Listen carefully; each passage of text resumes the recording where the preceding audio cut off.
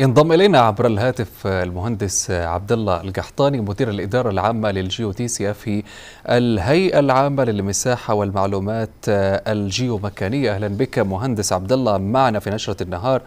يعني بداية ما هي الشبكة الوطنية لمحطات الرصد المستمر كي إس اي كورس؟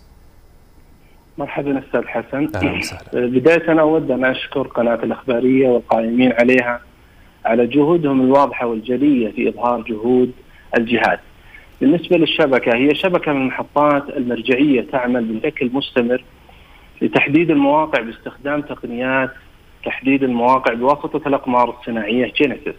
تتكون الشبكة حاليا من 209 محطة وتنقسم أنواع المحطات على نوعين محطات أرضية ومحطات مثبتة على أو مثبتة على أسطح المباني.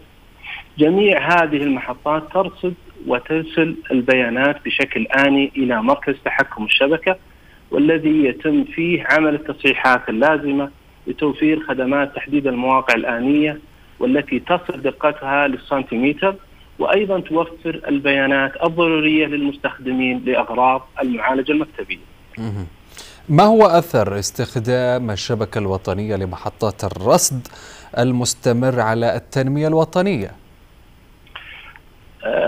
حقيقة تعتبر شبكة محطات الرصد المستمر أحد الركائز الأساسية في إنتاج المعلومات الجيومكانية والتي تعتبر قاعدة الأساس للمشروعات التنموية ومن أهم أدوات صناعة القرار في الدول المتقدمة.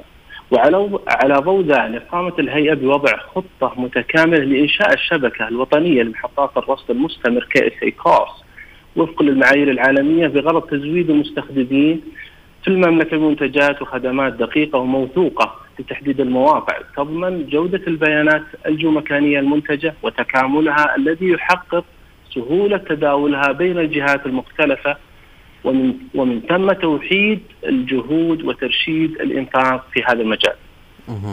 من هم مستخدمو الشبكة الوطنية لمحطة الرصد المستمر وما هي كذلك تطبيقاتها؟ الشبكة تلبي احتياجات جميع مستخدمي خدمات تحديد المواقع بالمملكة من القطاع الحكو... القطاعين الحكومي والخاص والأفراد.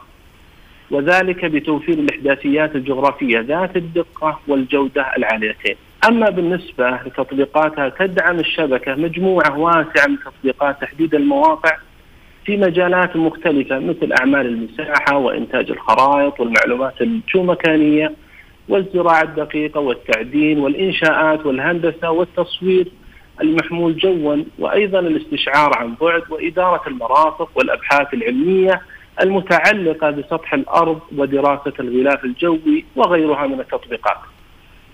هل هناك رسوم على الخدمات خدمات الشبكة ومنتجاتها؟ الحقيقة لا يوجد هناك رسوم على منتجات وخدمات الشبكة حاليا.